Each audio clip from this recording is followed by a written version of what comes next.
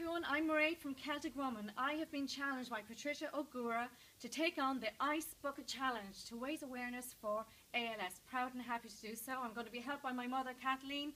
We're in chilly, chilly Ireland, so here we go. And I nominate Susan McFadden to take on this challenge for Celtic Woman. Yes, and for ALS.